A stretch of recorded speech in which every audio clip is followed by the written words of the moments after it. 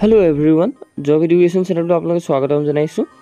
ইতিমধ্যে জল বিভাগৰ ফালৰ পৰা পদ মুকলি হৈছে য'ত আঠ হাজাৰ চাৰিশতকৈ পদ আপোনালোকৰ মাজত উল্লেখ কৰিছে য'ত আপোনালোকৰ ৱাটাৰ ডিপাৰ্টমেণ্টৰ ফালৰ পৰা আহিছে। ইয়াতে হেল্পাৰ ক্লাৰ্ক আৰু লগতে ৰিটাৰ মিটাৰ ৰিডাৰৰ কাৰণে এনেধৰণৰ পষ্ট আছে।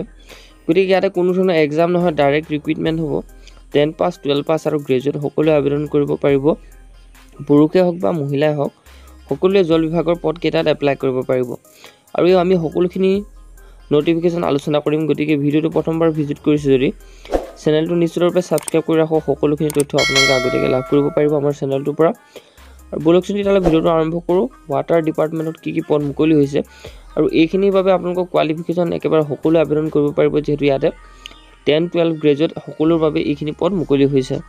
আৰু এই পদটোক অৰ্থাৎ জল বিভাগ যিটো ভৰ্তি মুকলি হ'বলৈ গৈ আছে দুহেজাৰ তেইছৰ ইয়াতে আপোনালোকৰ যিহেতু এই সকলোখিনি ডিপাৰ্টমেণ্টক P H E D department বুলি কোৱা হয় আপোনালোকে মনত ৰাখিব। আৰু এই পি এইচ ই ডি ডিপাৰ্টমেণ্টত যিহেতু মুকলি হৈছে ভালেখিনি পদ ইয়াতে সাত হাজাৰ তিনিশতকৈ অধিক মই আপোনালোকৰ মাজত যিহেতু থামনিলত আঠ হাজাৰতকৈ অধিক পদৰ বিষয়ে লৈ ইয়াতে লিখা হৈছে যিহেতু এই ভেকেঞ্চিখিনি টেণ্টাটিভ ভেকেঞ্চি হয়। অৰ্থাৎ পষ্ট নেমটো হৈছে আপোনালোকৰ meter reader clerk grade second আৰু লগতে ইয়াতে টোটেল ভেকেঞ্চি এতিয়ালৈকে টেণ্টাটিভ ভেকেঞ্চি হৈ আছে অৰ্থাৎ সাত হাজাৰ তিনিশ বুলি দেখুৱাইছে। কিন্তু আঠ হাজাৰতকৈ অধিক আপোনালোকৰ পদ মুকলি হ'ব ইয়াতে। আৰু এপ্লাই মোড আপোনালোকে অনলাইন কৰিব লাগিব এপ্লাই লিংক সকলোখিনি আমি আলোচনা কৰিম আৰু অল অভাৰ ইণ্ডিয়া এইখিনি জব ভেকেঞ্চি মুকলি হৈছে। ডেট মিনছ আপোনালোকৰ এইখিনি চেণ্ট্ৰেল গভৰ্ণমেণ্ট জব হয়।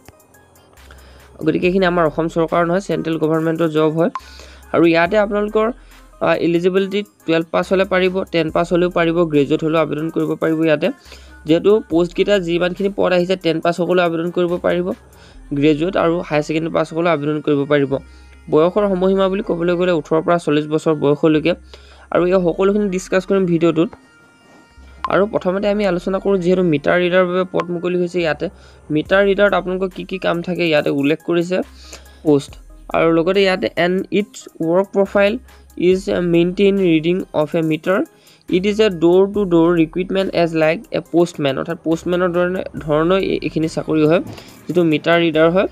ইয়াতে আপোনালোকৰ যিহেতু postman distribute post to the receiver door to door same as a meter reader took reading from door to door and generated a monthly bill in front of house owner or property owner অৰ্থাৎ ইয়াতে আপোনালোকৰ যিহেতু metre reader পদটোত কি কাম কৰে বুলি কৈছে ইয়াতে আপোনালোকৰ পষ্টমেনৰ দৰে কাম কৰে। অৰ্থাৎ ইয়াতে আপোনালোকে postman distribute post to receive door to door অৰ্থাৎ আপোনালোকে ইয়াতে যিখিনি ৱৰ্ক কৰিব লাগিব meter reader took reading from door to door generate a bill monthly bill অৰ্থাৎ কাৰেণ্টৰ বিল যেনেধৰণে ইয়াতে উঠায় অৰ্থাৎ কাৰেণ্টৰ বিল যেনেধৰণে মানুহ আহে আপোনালোকৰ বিল দিয়ে এটা ৰিচিপ্ট দিয়ে ঠিক তেনেধৰণৰ মিটাৰ ৰিডাৰৰ কাম হয়।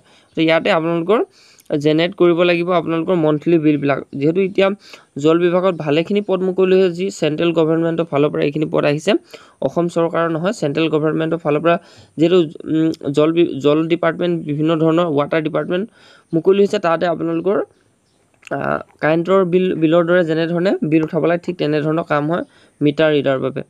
আৰু লগতে ইয়াতে নেক্সট পষ্টটোৰ বাবে আহিছে ক্লাৰ্ক ছেকেণ্ড গ্ৰেড অৰ্থাৎ যিটো আপোনালোকৰ মাজত কৈছিলোঁ ক্লাৰ্কৰ পদ হয় ছেকেণ্ড গ্ৰেড পদ হয় ইয়াতে। আৰু ইয়াতে clerk grade second is a desk work job অৰ্থাৎ আপোনালোকৰ অফিচতে কাম কৰিব লাগিব ইয়াতে টেবুলতে আপোনালোকৰ কাম থাকিব। যিহেতু ক্লাৰ্ক বুলি আপোনালোকে গম পাইছে কেৰাণী পদ হয়।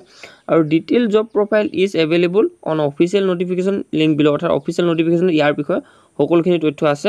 আৰু লগতে আৰু ইয়াতে মিটাৰ ৰিডাৰৰ যিহেতু দৰমহা কেনেকুৱা হয় মিটাৰ ৰিডাৰ গ্ৰেড পে' হয় আপোনালোকৰ দুহেজাৰ চাৰিশ and basic pay' basic pay' ওঠৰ হেজাৰ পাঁচশ। আৰু ইয়াতে T A D A order allowance থাকে ইয়াতে চৌবিছ হাজাৰ পাঁচশ পাৰ মান্থ হয়গৈ। আৰু লগতে ইয়াতে যিটো আপোনালোকৰ মিটাৰ ৰিডাৰ হয় ইয়াতে আপোনালোকৰ বেছি কোৱালিফিকেশ্যন নালাগে যিটো হায়াৰ ছেকেণ্ডেৰী পাছ আৰু ইয়াতে বিভিন্ন ধৰণৰ টেন পাছৰ বাবে জব আছে যিহেতু। আৰু লগতে ইয়াতে ক্লাৰ্ক গ্ৰেড ছেকেণ্ডৰ বাবে আহিছে ইয়াতে আপোনালোকৰ উল্লেখ কৰিছে গ্ৰেড পে'টো দুহেজাৰ আঠশ এণ্ড বেচিক পে' বাইছ হেজাৰ পাঁচশ টকা T A D A order allowance থাকিব য'ত প্লাছ হৈ পিনে আপোনালোকৰ আঠাইছ হাজাৰ সাতশ টকা পাৰ মান্থ চেলাৰী হ'ব। আৰু লগতে ইয়াতে আপোনালোকৰ জল বিভাগ ভৰ্তি এতিয়া এডুকেশ্যন কোৱালিফিকেশ্যন কি কি লাগিব যিহেতু আপোনালোকৰ মাজত মই থামনেলতে জনাইছোঁ যে ইয়াতে টেন পাছসকলে পাৰিব টুৱেলভ পাছসকলে পাৰিব আৰু গ্ৰেজুৱেটসকলে পাৰিব।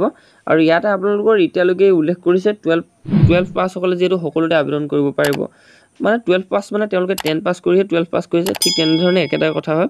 ইয়াতে টুৱেলভ পাছ কৰিলে আপোনালোকে আবেদন কৰিব পাৰিব গ্ৰেজুৱেট হ'লেও আপোনালোকে ইয়াতে আবেদন কৰিব পাৰিব যিহেতু। আৰু লগতে যি বিভাগ ইয়াতে মুকলি হৈছে ৱাটাৰ ডিপাৰ্টমেণ্টৰ ফালৰ পৰা ইয়াতে আপোনালোকৰ বয়সৰ সময়সীমা ওঠৰৰ পৰা চল্লিছ বছৰ বয়সলৈকে। আৰু ইয়াতে আপোনালোকৰ তিনি বছৰ এজ ইলেকশ্যন থাকিব অ' বি চি কেণ্ডিডেটসকলৰ আৰু পাঁচ বছৰ এজ ইলেকশ্যন থাকিব আপোনালোকৰ এছ চি এছ টি কেণ্ডিডেটসকলৰ আৰু ইয়াৰ বাবে আপোনালোকৰ এই সকলোখিনি পষ্টৰ আবেদন কৰিবলৈ হ'লে আপোনালোকৰ যিসকল যি পুৰুষ বা মহিলা হওক সকলোৱে আবেদন কৰিব পাৰিব। যিহেতু পষ্টৰ সবিশেষ আপোনালোকক জনাই দিয়া হৈছে যে যি এইখিনি পষ্টৰ যিহেতু চেণ্ট্ৰেল গভৰ্ণমেণ্টৰ পষ্ট হয় আৰু লগতে ইয়াতে আপোনালোকৰ আবেদন কৰিবৰ কাৰণে টুৱেলভ পাছ লাগিব আৰু এই সকলোখিনি আপোনালোকৰ পি এইচ চি ডি ডিপাৰ্টমেণ্টৰ ফালৰ পৰা আহিছে। অৰ্থাৎ পি এইচ চি ডি যি আপোনালোকে গম পায় এটা ৱাটাৰ ডিপাৰ্টমেণ্ট হয়। আপোনালোকে গুগলত হ'লে চাৰ্চ কৰি ল'ব।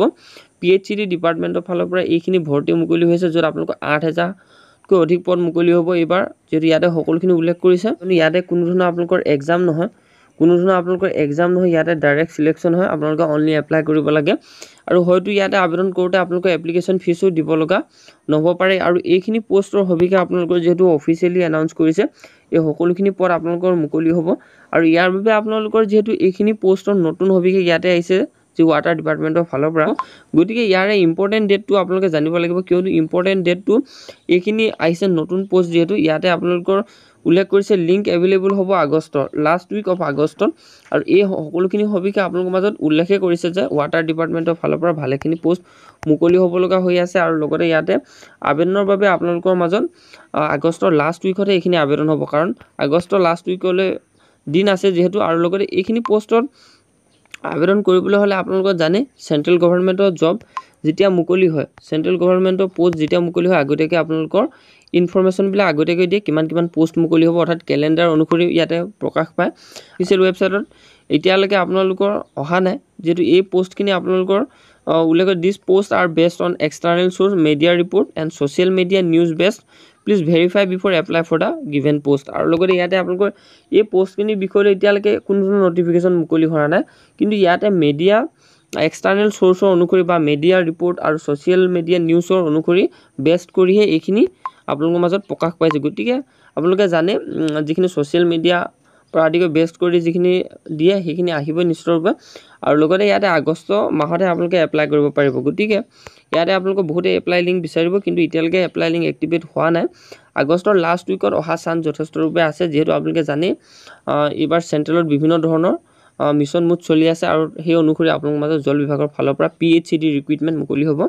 আৰু ইয়াতে অফিচিয়েল ৱেবছাইটৰ লিংকটো মই তথাপি ডেছক্ৰিপশ্যনত দি থৈ দিম আপোনালোকে আমাৰ চেনেলটোৰ লগতো জড়িত হৈ থাকক। আৰু এই পদখিনি আপোনালোকে সকলোখিনি আপডেট পাবলৈ হ'লে আমাৰ চেনেলটোৰ লগতো জড়িত হৈ থাকক। যেতিয়া নটিফিকেশ্যন আহিব যেতিয়া আবেদন হ'ব তেতিয়া আপোনালোকৰ মাজত সকলোখিনি লিংক ডেছক্ৰিপশ্যনত দিয়া হ'ব। গতিকে ভিডিঅ'টো ইমানতে সমাপ্ত কৰিছোঁ। আশা কৰোঁ ভিডিঅ'টো ভাল পালে আৰু চেনেলটো ছাবস্ক্ৰাইব কৰি ৰাখক। বন্ধুসকললৈ শ্বেয়াৰ কৰি দিব।